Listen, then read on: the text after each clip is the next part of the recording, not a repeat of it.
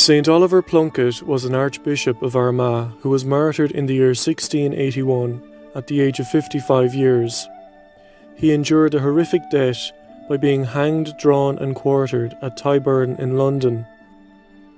He is a much loved saint in Ireland and is regarded as the patron of peace and reconciliation, as well as ecumenism. St. Oliver was invoked especially by Catholics during the Northern Ireland conflict of the late 1960s through 90s.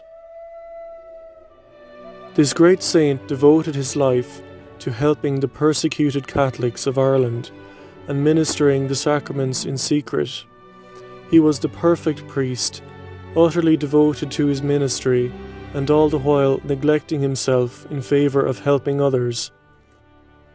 He was a man of tremendous faith and courage who loved God very dearly and risked his life on several occasions to perform his priestly duties.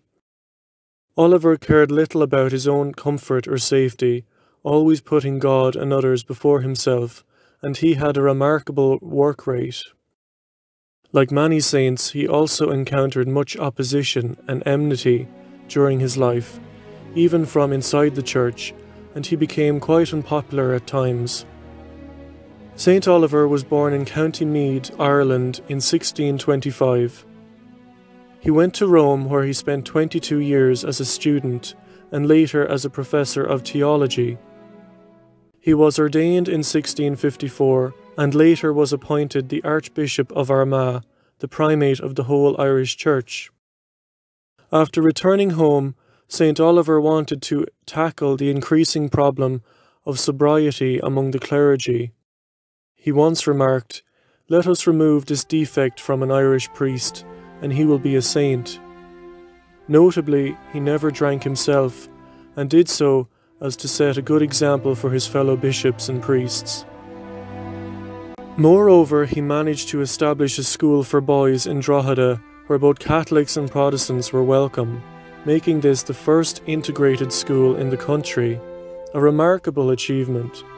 It is said St. Oliver paid for this entirely with his own money and afterward was apparently forever short on cash. He wrote thousands of letters, many of which have survived to this day, and he often petitioned people for donations to help the Church in Ireland. Sadly, however, after the Test Act was passed in London in 1673, followed by the Popish plot, it became very difficult to be a Catholic and persecution became rife.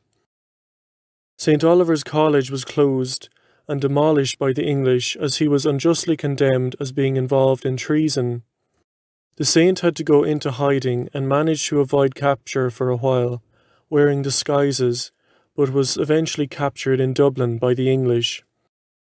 There is a story about how one time, to avoid capture, he actually dressed up as a soldier with a wig and pistols and went into a tavern where he began singing merrily.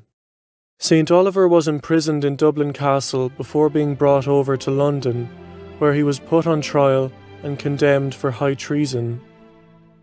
Apparently, when the jury returned with their guilty verdict, St. Oliver said, Deo gratias, or thanks be to God.